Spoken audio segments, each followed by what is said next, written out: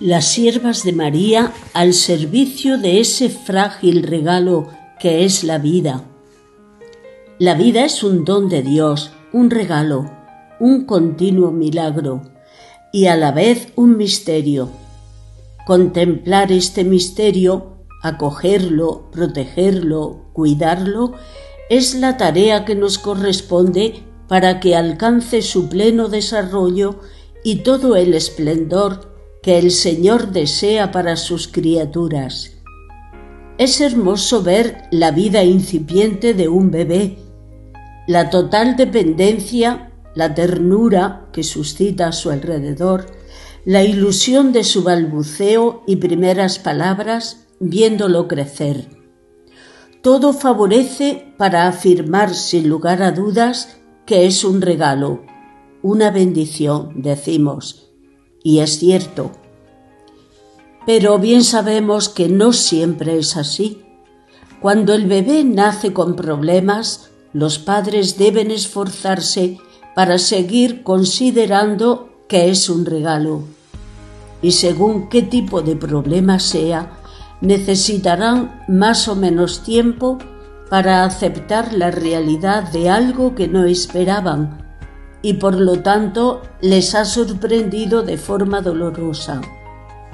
Lo que ocurre es que el amor todo lo puede y por encima del problema está el hijo y terminan descubriendo que esa parte costosa encierra algo que a todos les hace crecer.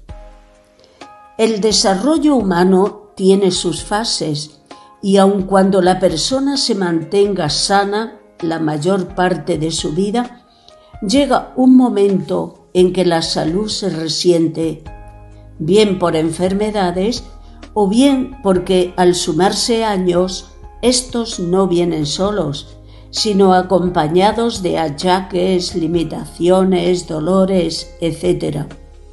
Y esta fase final también llega a crear dependencia de los demás, si bien de muy distinta manera a la de las primeras etapas de la vida que antes decíamos.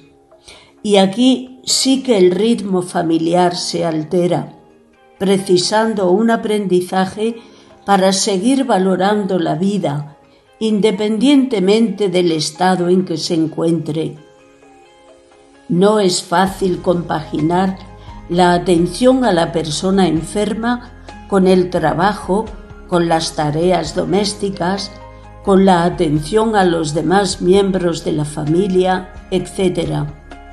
Y se necesita una ayuda para saber sacar adelante todo eso sin perder la calma. Nosotras, religiosas siervas de María, ministras de los enfermos, tenemos una espiritualidad propia que nos ayuda a descubrir el valor de la vida por eso optamos por ella en una sociedad que, a pesar de presumir muchas veces con sobrados motivos de sus avances y descubrimientos, debe aceptar también sus límites ante este misterio de la vida, del dolor y de la muerte. Nosotras, digo, somos portadoras de una luz que, aunque parezca humilde y pequeña, es capaz de iluminar ese mundo de dolor y ayuda a aceptar con paz esa realidad. ¿Cómo? Con la luz de la fe, pues Jesús, con sus palabras y obras, nos enseña el modo de acercarnos al otro en su dolor.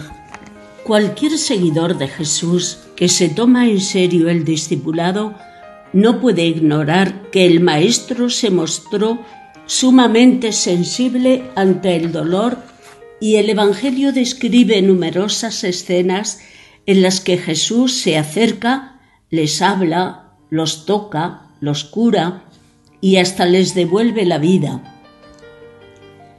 Y son numerosas sus palabras revelando que cualquier cosa que hagamos a los demás, a los humildes y pequeños, lo toma como hecho a Él mismo. Expresamente dice, estuve enfermo y me visitaste. Esta frase evangélica motiva y sustenta la vida y el hacer de cada sierva de María, que a ejemplo de su fundadora, Santa María Soledad Torres Acosta, gasta su vida en una entrega hecha servicio al enfermo, que, mirado con ojos de fe, es el Cristo doliente que precisa atención. Y por ello no hay distinción en su cuidado, sino por el contrario, su atención esmerada y gratuita es motivo para que el mismo enfermo, en la medida en que se encuentra en condiciones de ello, se interrogue el porqué de esa atención. Se hace sensible a que alguien se interese por él o por ella, se ponga a su servicio y su presencia se convierte en cauce de consuelo, cercanía, amor y trascendencia, hasta llegar a sentirse amado por el Dios misericordioso. Es preciso aclarar, para quienes puedan escuchar estas reflexiones, que ser religiosa y enfermera no se contraponen, sino que se complementan y por lo tanto no supone de ninguna manera dificultad porque ambas cosas se compaginan perfectamente sin que para realizar o vivir una dimensión se tenga que aparcar la otra. Ambas se integran y desde nuestra condición de consagradas a Dios para llevar su presencia al mundo del dolor, nos podemos entregar al enfermo como alguien que, además de servirle buscando su alivio y bienestar físico, busca también su bienestar espiritual, es decir, su bien integral.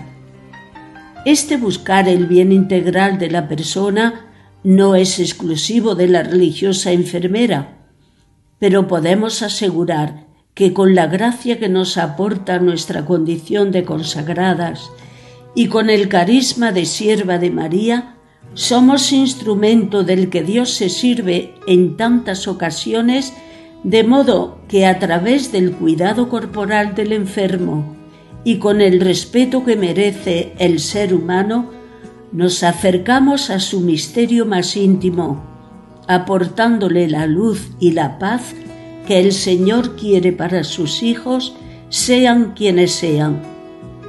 ¿Cuántas veces hemos experimentado que la enfermedad y el dolor han sido el momento ideal para la persona que sufre, pues le propicia la ocasión de llegar a descubrir junto a sí a Dios, abriéndose a su plan de salvación y encontrando en la cruz de Cristo la mejor medicina.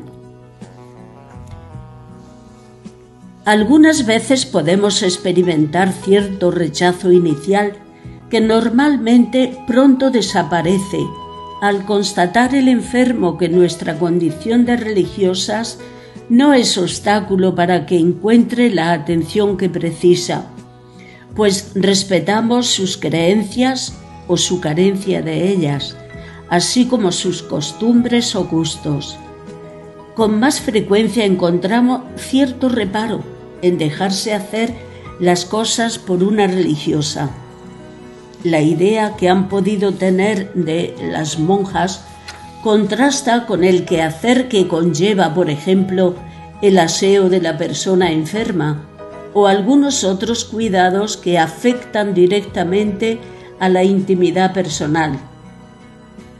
Pero igualmente pronto queda superado ese reparo al experimentar con qué delicadeza es tratado, ya que nuestra misión de fe nos ayuda a ver que tratamos los miembros doloridos del mismo Cristo. Igualmente la familia se beneficia de la ayuda que podemos aportar, pues aprende no sólo cómo cuidar al enfermo, sino también a cambiar su mentalidad, llegando a mirar esa situación con más serenidad e incluso con más cariño hacia la persona enferma. Esto es sumamente importante, pues las personas que rodean al enfermo, familiares o no, influyen mucho en el modo en que éste acepta su propia enfermedad y pase del sentirse una pesada e inútil carga a descubrir que todavía tiene mucho que aportar a todos, pues su dignidad y su dolor hacen que cada uno a su alrededor den lo mejor de sí al atenderlo y experimenta que se compadecen en el pleno sentido de la palabra, no que suscita lástima, sino compadecer en el sentido de que se ponen en el lugar del enfermo, sienten con él, padecen con él. Y a partir de ahí, su vida, o mejor, su actitud cambia, porque se les ha abierto un horizonte y una meta. De ahí que la misión de la sierva de María sea cauce de gozo interior y se sienta muy feliz realizando este ministerio. No podemos dejar de lado que nuestro trabajo ha de ser mirado y vivido desde una dimensión muy concreta. Somos personas consagradas, cuyo carisma evangélico da nueva visión a la hora de ponerse junto a un enfermo. Las palabras de Jesús, estuve enfermo y me visitaste, nos confieren una visión creyente que nos hace ver al mismo Jesucristo en el rostro de cada paciente. Y por otra parte deseamos y en la medida de lo posible nos esforzamos para que el enfermo, el enfermo vea también en nosotras a Jesucristo que se acerca a Él en el misterio de su dolor, para iluminar su noche y darle su sanación total, no solo física. Todo ello animadas y sostenidas por la presencia materna de María, que, como nos dijo San Juan Pablo II, entra con nosotras en las asistencias. Por todo ello, el ejercicio de nuestro ministerio es gratuito y así debe seguir siéndolo porque lo que hemos recibido gratis nos pide el Señor que lo demos gratis. Y esa gratitud no se limita a no recibir retribución material por el trabajo realizado, sino que cada sierva de María se entrega gratuita y plenamente, yendo más allá del límite que puede marcar el horario o lo que corresponde a una enfermera. Y tantas veces llegamos a ser hermana, madre o hija, que ama a los pacientes y se vuelca en mil, detalles que pueden proporcionarle alivio material o espiritual. Llegados a esta altura, cabe preguntar, ¿y los que no son religiosos, sino cristianos de a pie, personas sensibles al dolor ajeno, ¿Cómo pueden ayudar a las personas enfermas? Creo que de todo lo anteriormente expuesto se deduce la respuesta.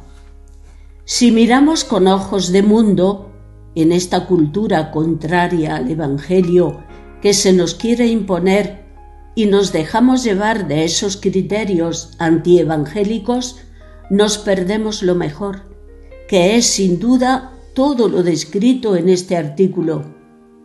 Ser cirineos de quienes llevan la pesada cruz de la enfermedad. Si en cambio miramos con ojos de fe todo cuanto viven las siervas de María, está al alcance de quienes, como el buen samaritano, ven al prójimo caído en cualquier camino de la vida y se les conmueven las entrañas de tal manera que se implican de la forma que le sea posible a fin de ayudarle y aliviarle. El Evangelio es para todos, no es exclusivo para las siervas de María. Si bien nosotras nos dedicamos de lleno a esta misión, pero ¿quién no puede visitar a un enfermo, dedicarle un tiempo, acompañarlo en su soledad, escucharle, animarle con palabras de esperanza, compartiendo la fe, prestarle pequeños servicios como limpiarle el sudor, refrescarle los labios, expresarle un gesto de ternura con la mirada, con la sonrisa, con la palabra, o mostrar interés por ayudarle. Todos son verbos que implican acción, pero para el enfermo son mucho más que eso. Son gestos que abren su corazón para sentirse alguien, no un estorbo, sino una persona con toda su dignidad que tiene mucho que decir y enseñar, tal vez desde su silencio, a quienes nos acercamos a ellos en actitud de querer aprender. Sería hermoso y consolador poder oír a ese enfermo en estos términos. Cada día venías junto a mí y siempre me cuidabas con amor. En mi soledad ansiaba tu presencia y me enseñaste a perdonar de corazón. Me sentía seguro ante tu entrega y tus manos aliviaban mis heridas. Tu mirada me elevaba al absoluto y mi pena se rindió ante tu sonrisa.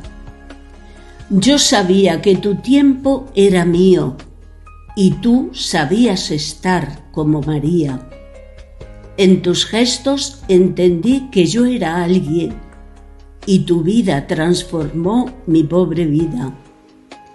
Comprendí que la cruz no es un castigo y fue una gracia que me visitases, pues contigo entraba Cristo dando vida y como a Él con esmero me cuidaste.